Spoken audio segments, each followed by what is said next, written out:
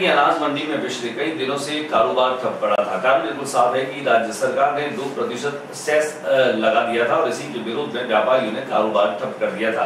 हड़ताल बुधवार को समाप्त हुई और गुरुवार से फिर अनाज मंडी में व्यापारियों के द्वारा कारोबार शुरू किया गया। हालाँकि विरोध आज भी व्यापारियों का बरकरार उन काली पट्टी बाँध करके और इस कारोबार को शुरू किया। यहाँ पर हमने व्यापारियों से की बातचीत जो आज हम व्यापारियों के, दलालों के, मुनिमों के जो काली पट्टी बांधी गई है, ये विरोध सरकार स्वरूप किया गया है कि सरकार ने हमारी बीस दिनों में कोई किसी प्रकार की मांग की, सुनाई नहीं की, अनसुनी की और हमारे घात विश्वासघात किया है। क्योंकि बीस दिन के दौरान सरकार के द्वारा कोई किसी प्रकार की हमारे पर कार्रवाई नहीं की गई, न हमारे को आश्वासन दिया गया, न जो कृषक कल्याण कोष था उसको हटाया गया है। इसलिए हम सबने यह निर्णय लिया